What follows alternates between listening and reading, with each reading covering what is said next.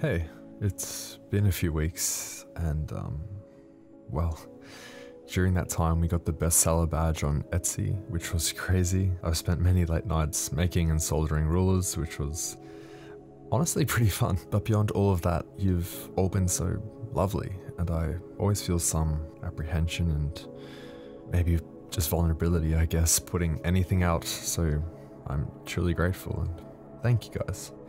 Now, a project like this is always a very singular journey, one that most people don't appreciate or really get, so I don't share this story. But you guys are engineers or students, or maybe just curious, and I'm sure a few of the lessons I took away from the 12 months of design will serve you at some point. I definitely learned a lot, and although I can't really cover a year's worth of ideations and iterations, we can jump around to the interesting parts, and I'm sure you'll see just how much fun this was. Now I wanted to make a PCB ruler for a few years, but I always felt a bit disinterested because a few already existed. Great ones existed, ones plastered with so much stuff that I couldn't possibly offer anything more. I mean, look at this, what else is there? But while working on other projects and spending more and more time designing PCBs, I got a sense that the components of a PCB, like the pads, the traces, the silkscreen, all of it although intended for very specific uses, had some curious, unintended uses. Take traces for instance. Obviously they're used to carry electricity, right? That's the point of them. They're these subsurface copper pipes, which means they have some thickness to them.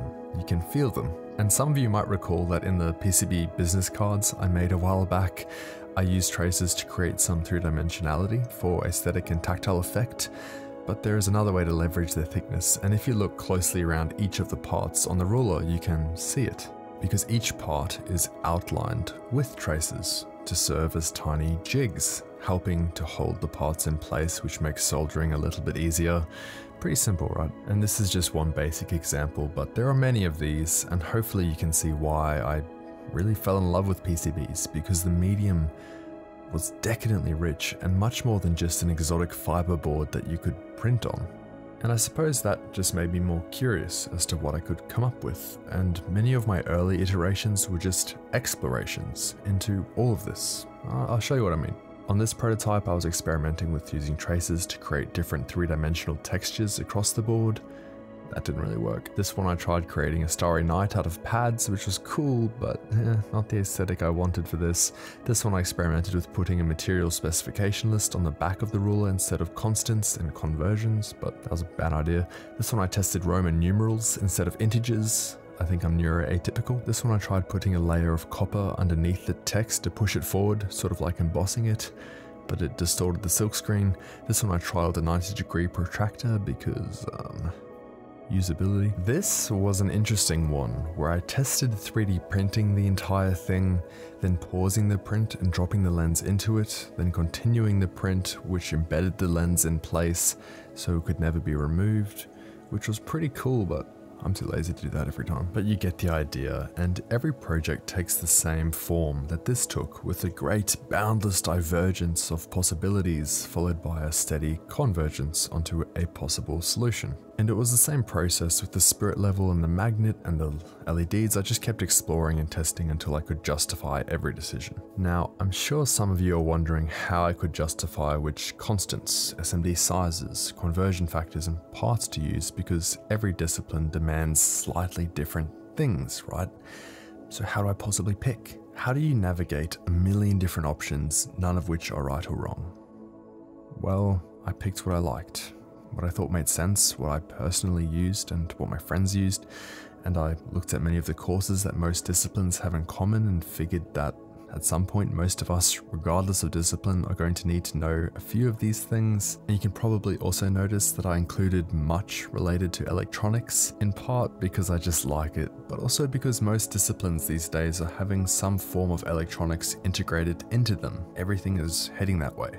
And once all of those decisions were made, we entered the next, distant but inviting land of aesthetics. And now is a good time actually to digress and talk about an abstraction trick I, and I'm sure many of you, use when designing really anything, because it is very useful to think of the design process as you might think of composing music or building a house.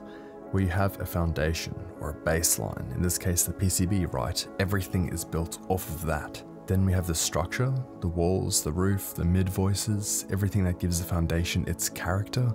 In this case, the lens, the level, the LEDs, the constants, the protractor, all those feature additions. And finally, we have the decoration or the melody. And that is what makes something memorable. This is what makes it distinct. I mean, what makes a house a home? It's not the floors or the roof, it's everything else the pictures, the furniture, the decor, right? But what makes a piece of music memorable? It's not the bass line, even though that's supporting the entire piece, but it's the melody. Or what makes you you? It's not your legs or your arms or your body, it's your face. That's you. It's why if someone hates you, they try and hit you in the face, right? And the reason it is useful to think of it this way is because it allows you to spot what is missing easily. Because it is impossible to know when a painting or a sculpture or a design is finished, you know, a painter always struggles to put down the brush.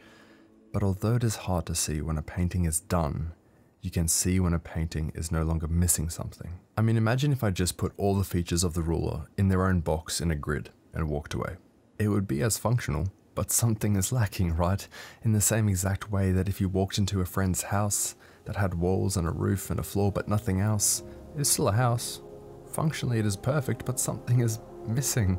The decor, the melody, the aesthetics, they're important. So after all the parts and features were chosen and roughly assembled, I knew something was still missing, and I knew I had the foundation set, the walls up, so the aesthetics needed work. But the thing about PCB rulers is that every component is designed for a specific use, and nearly every part isn't meant to be seen by anyone.